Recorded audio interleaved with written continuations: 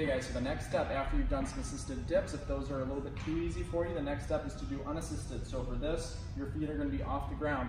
Same technique applies with the shoulders. So I'm gonna get into position, shoulders down and back right away. From right here, my feet are off the ground, elbows are going back behind me. It's okay if my upper body leans forward a little bit, keeping the shoulders in a good posture.